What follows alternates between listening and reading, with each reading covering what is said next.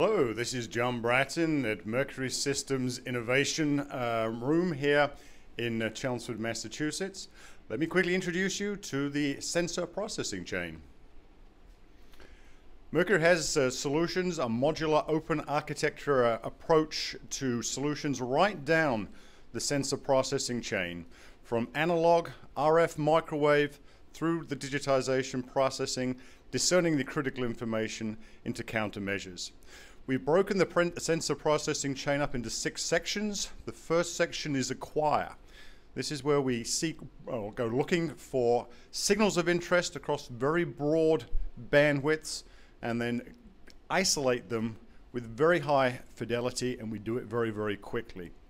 The next part inside of the sensor processing chain is the digitization. This is where we take those high fidelity signals and give them a very high definition digitization ready for the next step in the sensor processing chain, which is the actual processing itself. We use an open architecture approach to all of the solutions inside of the system processing chain. Um, on the processing side itself, we have an agnostic approach to the cooling. This is where we can lay out a single board and package it according to the particular requirements, whether or not it would be high altitude, um, a liquid cooled solution, which also dissipates a phenomenal amount of power, creating a truly line replaceable unit. Uh, we have air cooled solutions and we have managed air cooled solutions, which we call air flow by. Uh, we also have conduction cooled solutions, creating a whole ecosystem using a single core board enables us to use this as many different approaches. Form factors that we use are OpenVPX, Advanced TCA, as well as various other ones. They typically, though, are very secure and they use an open systems approach. Following further down the sensor processing chain, we go into storage. Um, this again is very typical of the approach that Mercury applies. The best commercial technology, um, we use solid state drives, package them, make them very, very rugged, and give them very fast fabrics for very quick read and write. Um, sensor processing chains always have some degree of storage in them, and following on from storage, we move into the exploitation.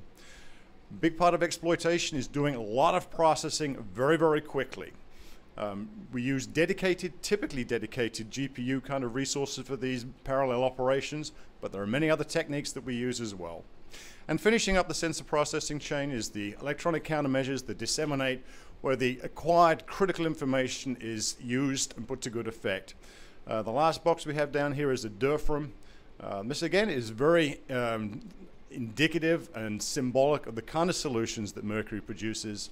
Uh, not only is this very fast, I've got a very broad um, broadband capability, it is also supported with more techniques um, than anybody else out there. So offering a very truly uh, poignant uh, solution to some of the most contemporary, challenging um, sensor processing chain uh, sensor processing chain challenges we have today.